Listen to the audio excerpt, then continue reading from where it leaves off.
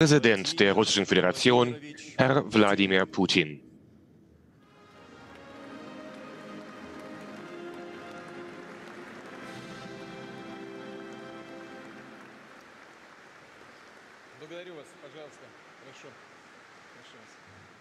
Dankeschön. Bitte schön, nehmen Sie Platz.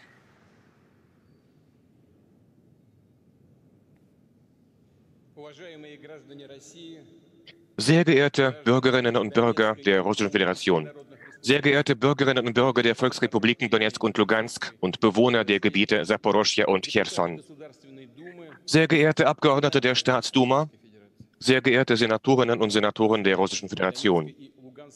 Wir wissen es inzwischen. In den Volksrepubliken Donetsk und Lugansk, den Gebieten Saporoschja und Cherson, haben Referenden stattgefunden. Ihre Ergebnisse stehen nun fest. Die Ergebnisse sind bekannt. Die Menschen haben ihre Wahl getroffen. Eine eindeutige Wahl. Wir werden heute die Beitrittsverträge unterzeichnen zwischen Russland und den Volksrepubliken Donetsk und Lugansk, den Gebieten Saporoschja und Cherson. Ich bin zuversichtlich, dass die föderale Versammlung die Verfassungsgesetze unterstützen wird, laut denen Russland vier neue Subjekte, vier neue Regionen bekommt. Denn das ist der Wille von Millionen von Menschen.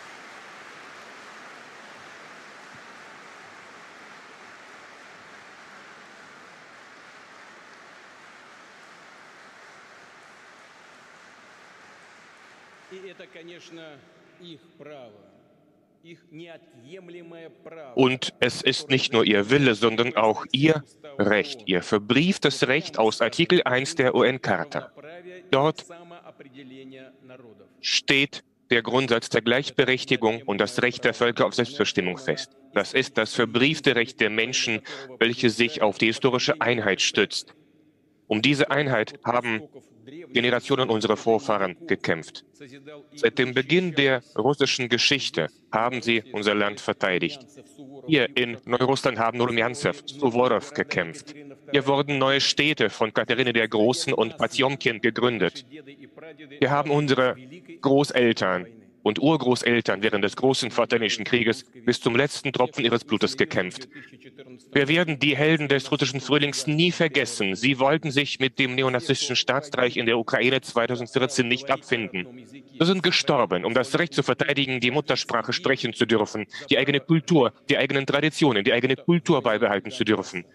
Sie haben für das Recht zu leben gekämpft. Die Krieger vom Donbass, die Märtyrer von Katyn in Odessa, Opfer der Terroranschläge von Kiew verübt, Freiwillige, Zivilisten, Frauen, Kinder, Senioren, Russen, Ukrainer, Menschen unterschiedlichster Nationalität. Alexander Zacharchenko, der Spitzenpolitiker in Donetsk, Arsen Pavlov, Vladimir Joga, Olga Kachura und viele andere Kommandeure mehr. Sergei Gorenko, der Staatsanwalt der Teilrepublik der Republik Lugansk, Nurmagomed Haji Mugomedov, der Fallschirmjäger und alle Soldaten und Offiziere, die den Tod der Tapferen gefallen sind. Sie sind die Helden, die Helden der militärischen Sonderoperation. Sie sind die Helden des großen Russland. Ich bitte Sie um eine Schweigeminute zu Ihren Ehren.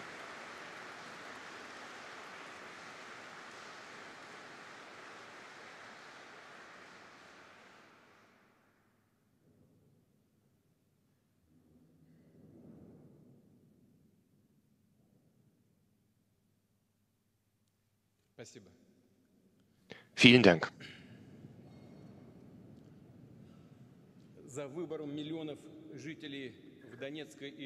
Hinter dieser Entscheidung der Millionen Einwohner der Volksrepubliken Donetsk und Lugansk, der Gebiete Cherson und Saporoschja, steht unser gemeinsames Schicksal, unsere tausendjährige Geschichte. Es ist eine geistige Verbindung, die Sie Ihren Kindern und Enkelkindern geerbt haben. Trotz allen Mutproben haben sie ihre Liebe für Russland nicht verloren über all die Jahre. Und dieses Gefühl kann niemand vernichten.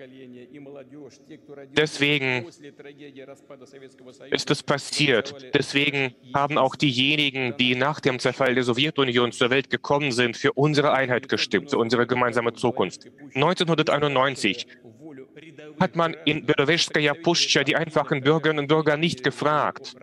Damals haben die Vertreter der damaligen Parteieliten beschlossen, die Sowjetunion aufzulösen.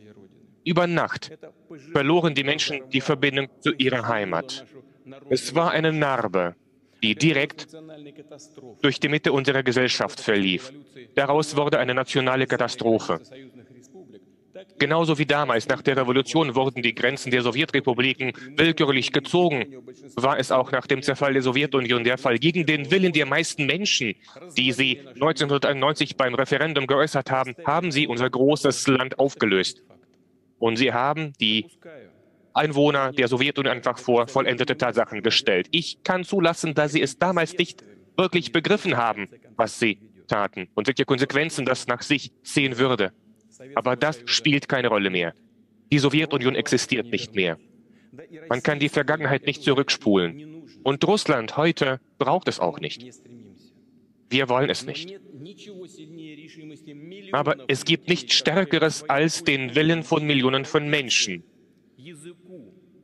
denen eine gewisse Kultur, eine Sprache, Traditionen innewohnen. Und sie betrachten sich als Teil Russlands. Ihre Vorfahren haben jahrhundertelang in einem Staat nebeneinander gelebt. Es gibt nichts Stärkeres als den Willen dieser Menschen, zurückzukehren, zurückzukommen in ihre wahre historische Heimat.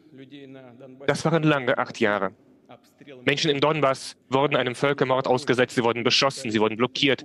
In Cherson und Saporoschje hat man versucht, gegen Russland zu hetzen, gegen alles Russische. Jetzt, während der Referenden, hat das Kiewer Regime gedroht,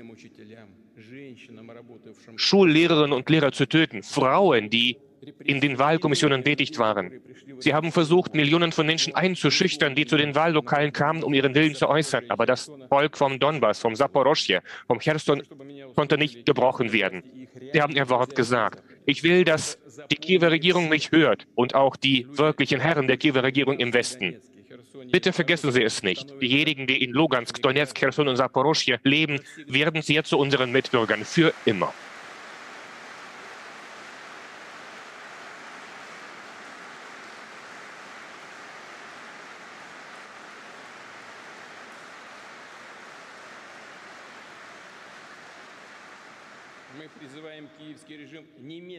Wir rufen das Kiewer Regime dazu auf, sofort das Feuer einzustellen, sofort alle Kampfhandlungen aufzustellen.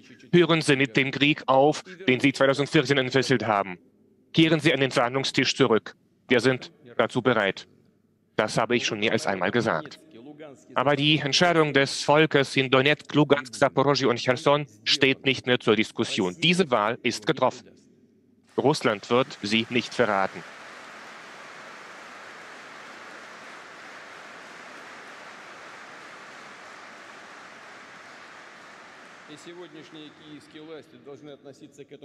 Die heutige Regierung in Kiew sollte diese freie Willensäußerung der Menschen respektieren, wie denn sonst.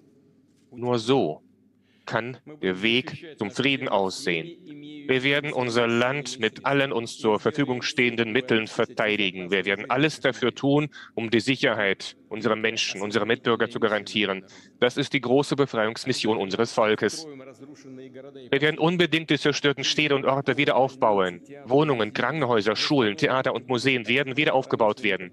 Und wir werden auch die Industrie weiterentwickeln, Infrastruktur, Fabriken, Produktionsstandorte, das Rentensystem, die Krankenversorgung und natürlich die Bildung. Wir werden natürlich auch daran arbeiten, dass das alles in Sicherheit geschieht. Wir werden alle zusammen alles dafür machen, dass unsere Mitbürger die Unterstützung des ganzen Landes, des ganzen russischen Volkes spüren, alle Republiken, alle Gebiete, alle Gegenden der Russischen Föderation.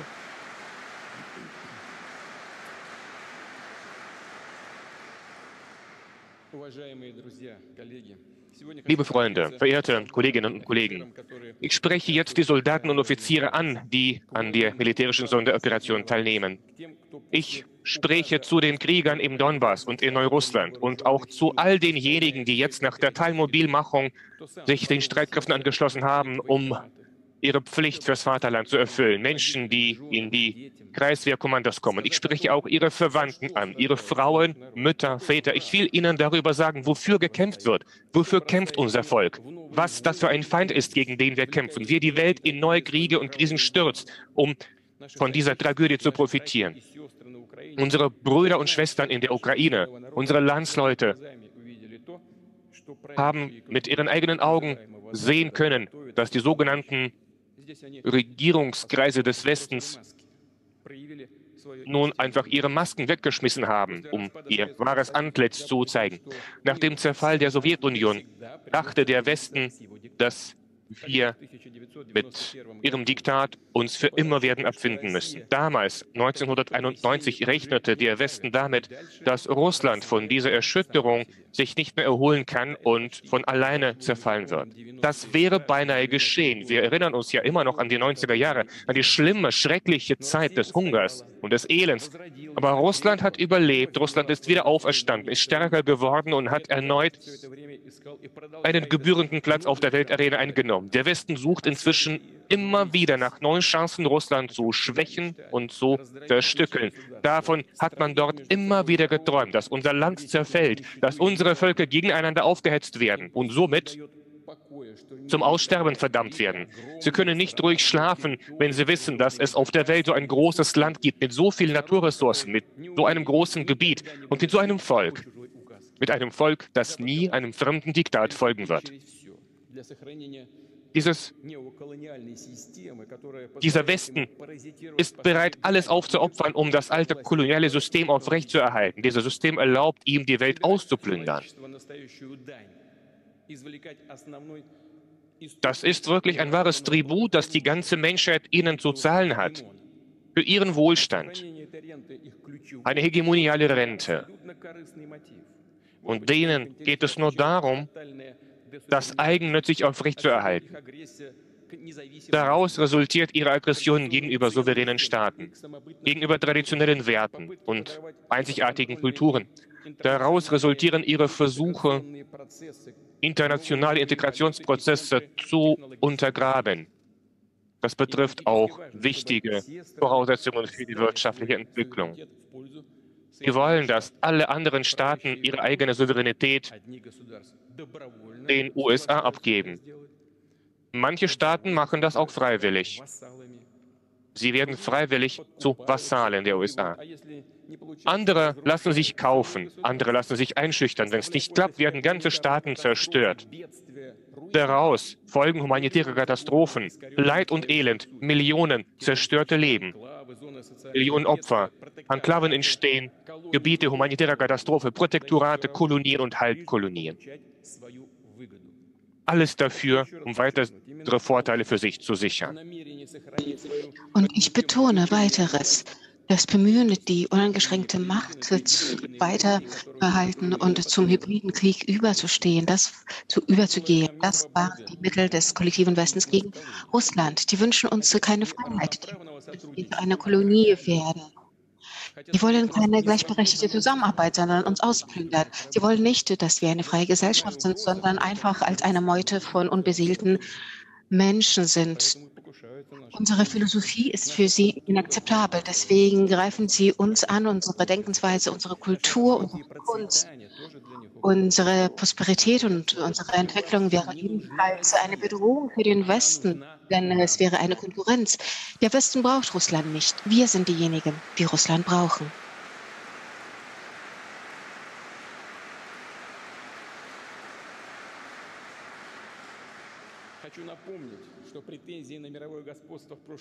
Ansprüche auf äh, die Weltherrschaft sind auch früher in der Vergangenheit äh, an der Standhaftigkeit unseres Volkes äh, zerschlagen worden. Wir werden uns auch dieses Mal heldenhaft für unsere Heimat einsetzen. Der Westen glaubt, dass man alles einfach hinnehmen würde und darüber hinwegsehen würde. Und das war früher auch der Fall der Fall.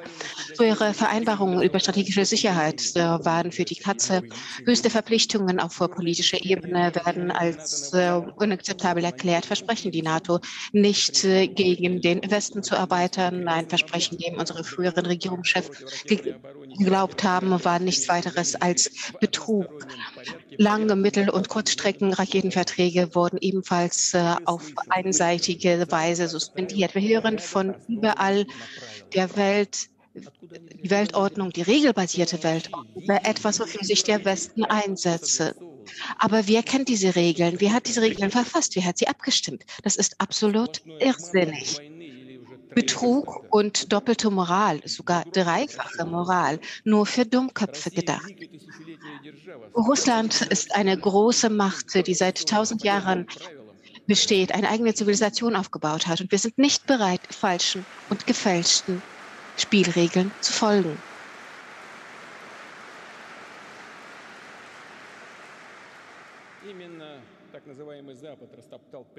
Der sogenannte Westen hat den Grundsatz der Unverletzbarkeit der Grenzen mit den Füßen getreten und äh, entscheidet nun selbst, wer das Recht zur Selbstbestimmung habe um, und wem dieses Recht aberkannt werde. Die sind es, die es versuchen zu entscheiden. Aber woher haben sie das Recht? Die haben sich das Recht selbst angeeignet. Und deswegen ist die freie Wahl der Menschen in der Krim, in Donetsk, Lugansk, Zaporozhye und Cherson für den Westen absolut inakzeptabel. Aber welches Recht hat der Westen überhaupt über Freiheit und Demokratie zu sprechen? Dieses Recht hat der Westen auch nie gehabt. Die westlichen Eliten sprechen nicht nur den Eliten ihre Selbstbestimmung ab, sondern äh, diese Eliten neigen zum Apatheismus, Totalitarismus und zur Diktatur. Und äh, sie unterscheiden unter ihren Gefolgsstaaten als äh, Kolonialstaaten und alle anderen. Und ähm, ja, die anderen Ländern sollen und man wird, äh, man geht mit Klischees wie Barbaren und Fremde vor. Ganze Länder und Staaten und Völker werden gebrandmarkt. Und das kennen wir schon längst aus der Geschichte. So sind die westlichen Eliten schon immer gewesen, so sind sie auch geblieben in ihrer kolonialen Denkensweise. Sie diskriminieren, sie trennen Völker und unterscheiden in Menschen der ersten und zweiten Sorte. Wir werden niemals äh, so einen politischen Nationalismus und Rassismus akzeptabel, denn was ist diese Russophobie anderes als äh, eine Art Rassismus, äh, die Russlandfeindlichkeit, die in der Welt verbreitet wird und die Überzeugung des Westens, dass es entweder eine Zivilisation gebe, neoliberale Diktatur als Vorbild, unantastbares Vorbild für die gesamte Welt. Und das wird gegen uns eingesetzt. Und das klingt sogar seltsam. Und äh, sogar, wenn man Büße tut in den eigenen historischen Verbrechen, wird die Last äh, auf die Schultern aller anderen und alle anderen Länder übertragen. Und man fordert vom anderen, von anderen Ländern der Welt Buße zu tun für die Taten, mit denen diese anderen Länder es überhaupt nichts zu tun hatten. Zum Beispiel bei der Kolonialisierung Kolonialherrschaft. Es begann alles ja im Mittelalter, dann äh, mit dem Sklavenhandel weltweit, äh, der Völkermord in Indien, die Plünderung von Indien und Afrika, die Kriege von Frankreich und äh, Großbritannien gegen China und der Zwang auf China, die Häfen zu eröffnen. Und ganze Völker wurden abhängig von Drogen gemacht. Ganze ethnische Gruppe, Gruppen wurden getilgt, eine Menschenjagd wurde eingerichtet, Menschen wurden wie Tiere gejagt. Und das ist fremd der Men dem menschlichen Geiste, der Freiheit und dem Stolz des Menschen. Und wir sind stolz, dass im 20. Jahrhundert sich unser Land an die Spitze der antikolonialen Bewegung gesetzt hat. Wir setzen uns dafür ein, um Armut Ungleichheit und Krankheiten, Hunger zu, Hungersnöte zu bekämpfen. Grund dieser Russlandfeindlichkeit ist die Wut der westlichen Eliten Russland gegenüber. Und warum? Weil wir es nicht zugelassen haben, dass wir in den Kolonialzeiten geplündert werden könnten. Wir haben die Europäer gezwungen, gegenseitig vorteilhaften Handel zu betreiben. Wir haben es geleistet, weil aus Russland ein starker zentralisierter Staat geworden ist, der sich entwickelt hat und der sich und der auf guten moralischen Werten beruht, und zwar auf den Werten des orthodoxen Christentums, äh, des Judaismus und äh, des Islams. Und das auch auf der hochmoralischen russischen Kultur. Die Intervention war in Russland ebenfalls sehr oft geplant, äh, ob in den Zeiten der Wirren in dem 16., 17. Jahrhundert später. Der Westen wollte das Reichtum Russlands plündern. Das schaffte man fast zu Beginn des 20. Jahrhunderts. Man nannte uns mal Partner Äh, aber wir waren nichts weiteres als äh, Kolonie in den Augen des Westens.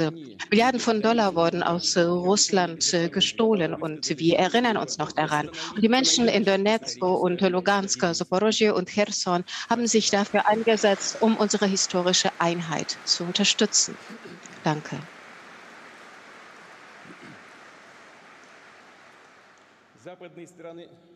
Die westlichen Länder behaupten seit Jahrhunderten, sie würden anderen Völkern die Freiheit mitbringen. Aber eigentlich ist das Gegenteil der Fall. Anstatt von Demokratie erleben wir Unterdrückung und Ausbeutung. Anstatt Freiheiten erleben wir eine Versklavung und Gewaltakten.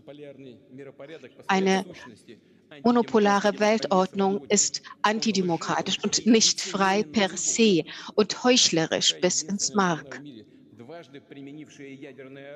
Die USA sind das einzige Land, das zweimal Nuklearwaffen äh, verwendet hatte und das äh, gegen Hiroshima und Nagasaki damit einen Präzedenzfall auch geschaffen haben.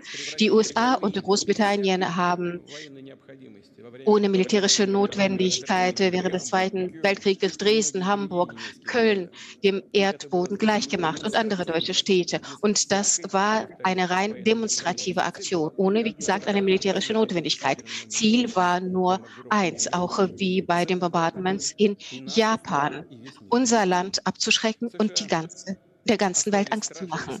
Die USA haben eine furchtbare Spur in der Erinnerung der Völker in Korea und Vietnam unter hinterlassen äh, bei, der, bei massiven Bombardements, äh, bei der Anwendung, Anwendung von Massenvernichtungswaffen. Die Republik Korea wird unter Druck gesetzt, aber zynisch nennt man diese Länder, die sich unter Druck befinden, als gleichberechtigte, als gleichberechtigte Partner. Welche partnerschaftlichen Beziehungen kann es gibt? Welche äh, Allianzen können geschmiedet werden, wenn aus einem Land die Spitzenpolitiker die anderen kontrollieren, wenn äh, nicht nur die Büroräume, sondern sogar Wohnräume abgehört werden. Das ist eine Schande, nicht nur für diejenigen, die so etwas tun, sondern auch für diejenigen, die zu servil so etwas schlucken. Eine euroatlantische Solidarität steht nun für dieses äh, sklavenhafte Verhältnis. Edle medizinische Forschung, das ist äh, das Wort für die Biowaffenforschung in den Laboren in der Ukraine. Millionen von Menschen fliehen nun. Sie müssen zu Tausenden Qualen und Leiden erleiden und fliehen, verlieren, büßen ihr Leben ein auf dieser Flucht. Und nun das Thema der Lebensmittelsicherheit für die ärmsten Länder der Welt. Aber wohin fließt denn das Getreide? Wohin strömt es denn? An die reichen Länder. Nur fünf Prozent des Getreides wurde an arme Länder verschifft. Wieder Betrug, wieder direkte, direkte Lügen. Es wird gelogen wie gedruckt. Und die amerikanischen Eliten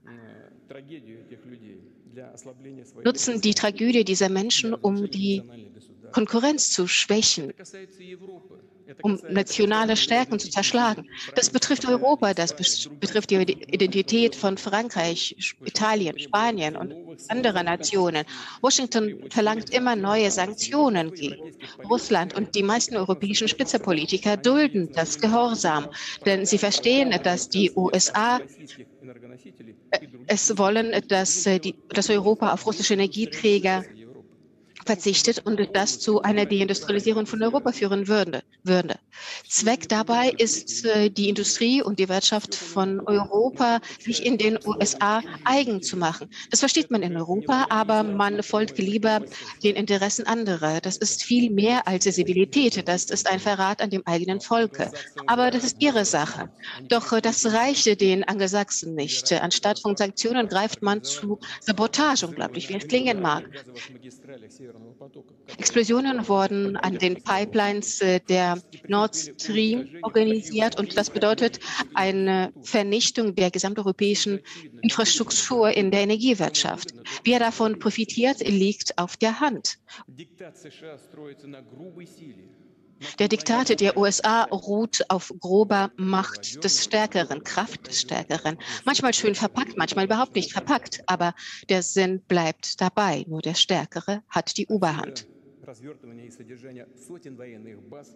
Daher die Stationierung von Truppen und, äh, und Aufbau militärischer Stützpunkte weltweit, eine Erweiterung der NATO, die Schmiedung neuer Allianzen wie die August-Allianz und äh, andere Bündnisse eine militärische Kopplung zwischen Washington und Tokio, die angestrebt wird.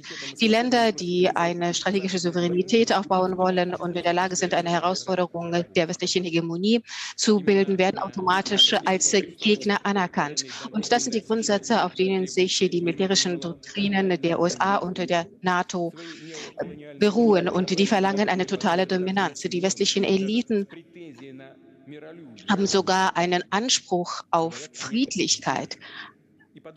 Und sie reden von Appeasement. Aber so eine Heuchlerei wandelt aus einem strategischen Dokument in eins andere. Aber das bedeutet nur eins souveräne Entwicklungszentren zu unterminieren.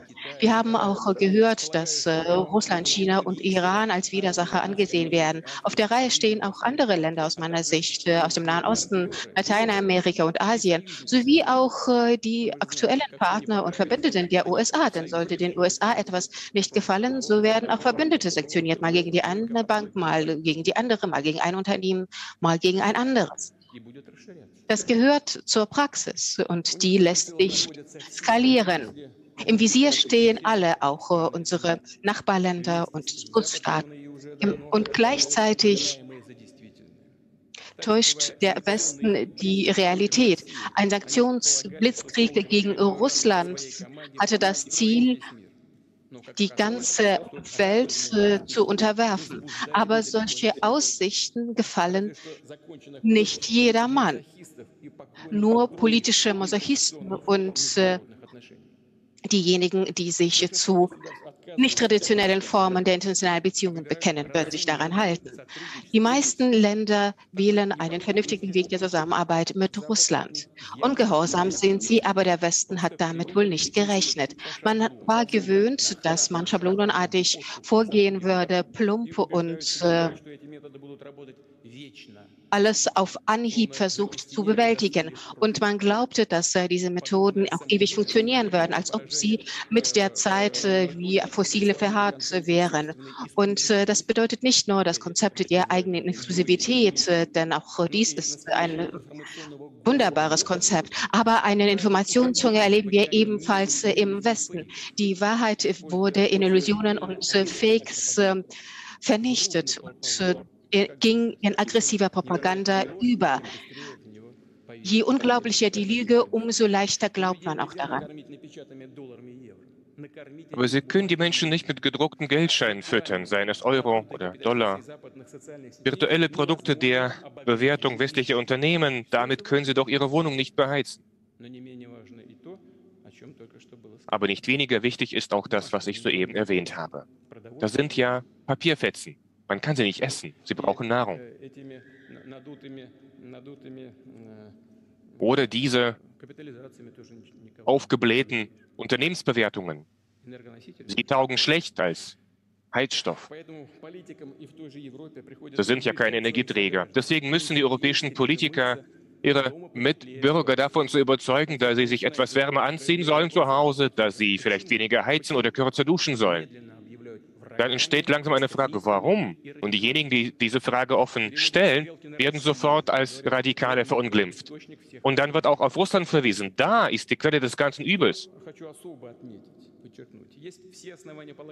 Es gibt jeden Grund zu glauben, dass die westlichen Eliten nicht nach einem konstruktiven Ausweg aus, aus dieser globalen Krise interessiert sind. Diese Krise ist auf ihr Verschulden entstanden, auf ihr Verschulden. Es ist ein Ergebnis ihrer langjährigen Politik, die noch lange vor unserer militärischen Sonderoperation in der Ukraine angefangen hat. Aber ich will nicht die Probleme der Ungleichheit lösen, denn es gibt immer noch eine Befürchtung, dass sie dann zu anderen, für sie durchaus üblichen Mitteln greifen können. Ich denke an den Beginn des 20. Jahrhunderts zurück. Da hat der Westen den Ersten Weltkrieg begonnen. Und am Ende des Zweiten Weltkrieges konnten die USA endgültig die große Depression überwinden und zur größten Volkswirtschaft weltweit aufsteigen. Dollar ist zur weltweiten Reservewährung geworden. Dann kam die Ölkrise der 70er Jahre. Es war eine weitere Zuspitzung. Und der Westen konnte diese Krise vor allem oder im Wesentlichen damit überwinden, dass sie sich Ressourcen anderer Staaten zu eigen gemacht haben. Am Ende auch die Ressourcen der zerfallenden Sowjetunion. Es ist eine Tatsache. Jetzt haben wir ein neues Bündel an Differenzen. Um dieses Bündel aufzulösen, wollen sie Russland brechen. Und mit Russland auch andere Staaten, die sich für einen anderen Weg entscheiden. Sie wollen noch mehr Staaten plündern. Sie wollen fremdes Reichtum klauen, um die eigenen Defizite auszugleichen. Es ist nicht ausgeschlossen, dass sie es am Ende versuchen werden, das System zum, zur Implosion, zum Kollaps zu bringen. Oder vielleicht werden sie auch zur wichtigsten, schrecklichen Formel greifen. Nach dem Krieg findet man keine Rechnungen mehr. Russland ist sich seiner Verantwortung vor der Weltgemeinschaft bewusst und wird alles dafür tun, um die Irren wieder zu sich zu bringen. Dieses Modell ist zum Aussterben verdammt. Aber es liegt auf der Hand, dass die westlichen Staaten sich daran klammern werden, denn sie können der Welt nichts anderes anbieten. Denen ist das Recht der meisten Menschen auf der Erde auf Freiheit und Gerechtigkeit egal. Das Recht der überwiegenden Mehrheit der Erdbevölkerung. Jetzt haben sie damit begonnen, dass sie alles radikal leugnen, sogar solche Werte wie Religion, Glaube und Familie. Wollen wir uns mal selbst sehr simple Fragen beantworten. Ich möchte wieder darauf zurückkommen, was ich schon gesagt habe. Ich spreche alle Bürgerinnen und Bürger des Landes an, nicht nur diejenigen, die hier im Raum befinden. Alle russischen Mitbürger. Wollen wir das wirklich? Wollen wir wirklich, dass in unserem Land, in Russland, wir Elternteil Nummer eins, Nummer zwei und Nummer drei haben statt Mutter und Vater? Sind die wirklich verrückt geworden? Wollen wir es wirklich, dass die Kinder schon in der Grundschule Perversionen gelehrt werden, die schließlich zum Aussterben führen. Dass man denen erzählt, dass es neben Mann und Frau noch Gender gibt und dass ihnen gleich eine Geschlechtsoperation angeboten wird. Wollen wir das wirklich für unser Land und für unsere Kinder? Das ist für uns inakzeptabel. Wir haben eine andere Zukunft, unsere eigene Zukunft. Die Diktatur des Westens richtet sich gegen alle anderen. Auch gegen die Völker der westlichen Staaten selbst. Es ist eine Herausforderung für alle. Eine hundertprozentige Negation des Menschen, des Glaubens und der traditionellen Werte. Die Freiheit wird unterdrückt und daraus macht man eine Antireligion, daraus macht man eine satanistische Religion. In der Bergpredigt redete Jesus Christus über die falschen Propheten. An ihren Früchten werdet ihr sie erkennen, sagte Jesus. Die Früchte sind schon sichtbar geworden und nicht nur hier in Russland, überall auf der Welt. Sind auch für viele im Westen sichtbar geworden. Die Welt erlebt einen revolutionären Wandel. Es ist ein grundlegender Wandel. Neue Entwicklungszentren entstehen. Und in diesen Zentren konzentriert sich die Mehrheit der Weltgemeinschaft. Diese Menschen wollen nicht nur ihre Interessen offen bekunden, sondern sich dafür auch einsetzen, sie verteidigen. Die Multipolarität ist der richtige Weg zu dieser Verteidigung. Das ist der Weg zur Wahrheit, zur Freiheit.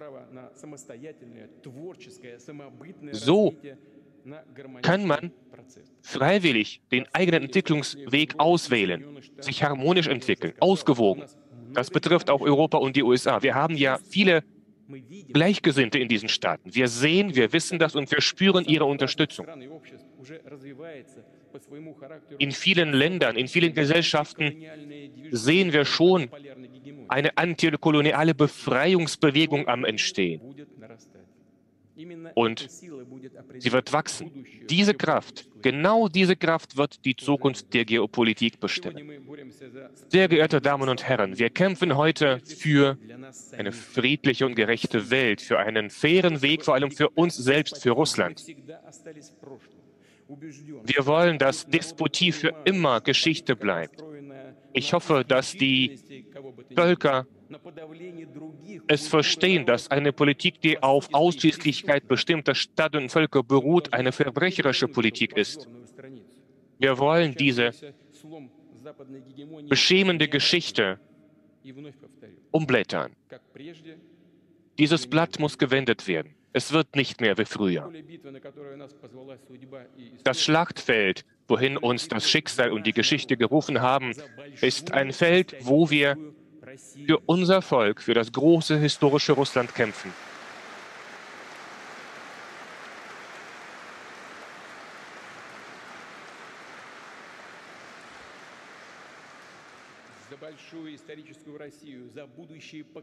Für ein großes historisches Russland, für künftige Generationen, für unsere Kinder, Enkelkinder und Urenkel. Wir müssen sie schützen vor schrecklichen Versuchen, vor Experimenten, die ihr Bewusstsein verletzen wollen. Wir kämpfen dafür, dass niemandem mehr einfällt, dass unser Land, unser Volk, unsere Sprache und Kultur einfach gecancelt werden können. Wir brauchen heute die Konsolidierung der ganzen Gesellschaft. Und eine Grundlage dafür kann nur Souveränität, Freiheit und Schaffen sein, aber auch Gerechtigkeit. Unsere Werte sind Menschenliebe, Barmherzigkeit. Ich möchte meine Rede mit den Worten eines richtigen Patrioten abschließen. Ivan Iljin. Wenn ich Russland als mein Vaterland betrachte, dann heißt das, dass ich auf Russisch liebe, dass ich auf Russisch singe, sehe und höre und spreche. Das heißt, ich glaube an die geistige Kraft des russischen Volkes, an den Geist dieses Volkes. Sein Schicksal ist mein Schicksal. Sein Leid ist mein Leid und meine Trauer. Seine Blütezeit ist meine Freude. Hinter diesen Worten verbirgt sich eine große historische und geistige Wahl. Die russische Staatlichkeit blickt auf eine über tausendjährige Geschichte zurück. Unsere Vorfahren haben immer wieder diese Wahl getroffen. Und jetzt machen wir diese Wahl noch einmal. Diese Wahl haben gerade die Bürgerinnen und Bürger der Volksrepubliken Donetsk und Lugansk, der Gebiete Cherson und Saporoschje gemacht. Sie haben eine Wahl getroffen, mit ihrem Volk zu sein, mit der Heimat zu sein und das Schicksal der Heimat mitzuerleben, zusammen mit der Heimat zu siegen. Hinter uns steht Wahrheit, hinter uns steht Russland.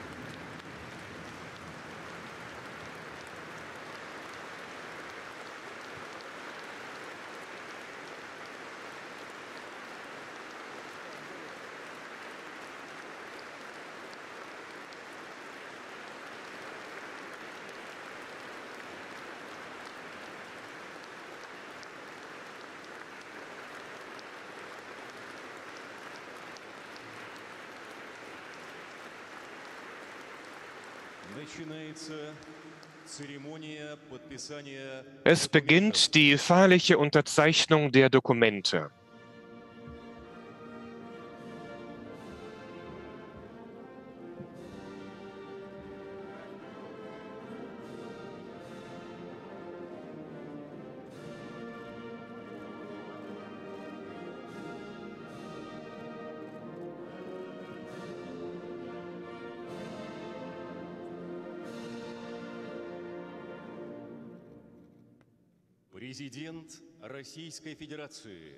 Der Präsident der Russischen Föderation Wladimir Putin. Das Oberhaupt der Volksrepublik Donetsk. Denis Puschilin. Das Oberhaupt der Volksrepublik Lugansk. Leonid Pasechnik.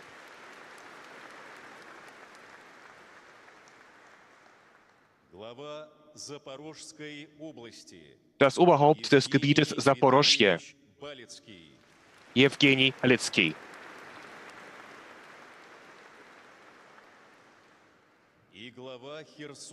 Und das Oberhaupt des Gebietes Cherson,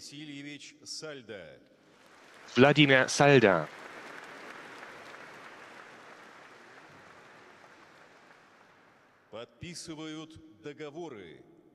Es werden Verträge unterzeichnet zwischen der Russischen Föderation und der Volksrepublik Donetsk.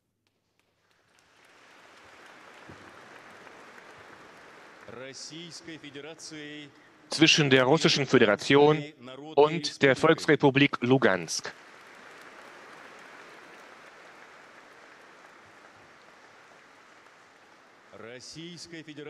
Zwischen der Russischen Föderation und dem Gebiet Saporoschje.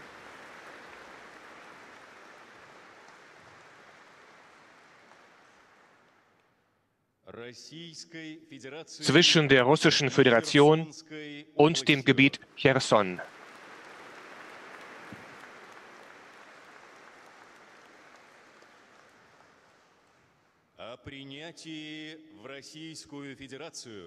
Es treten zur Russischen Föderation bei.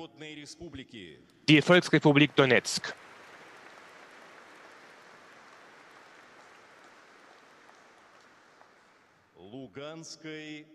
die Volksrepublik Lugansk,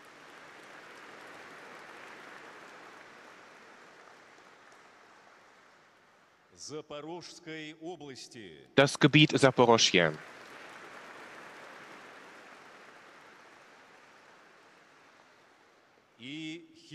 Und das Gebiet Cherson.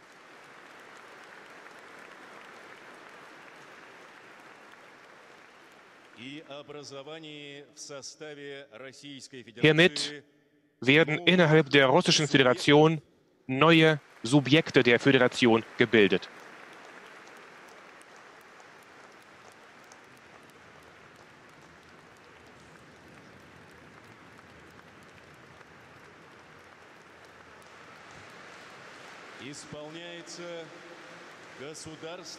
Es erklingt die Nationalhymne der Russischen Föderation. Россия, священная наша держава, Россия, любимая наша страна. Могучая воля, великая слава, Твое достояние на все времена.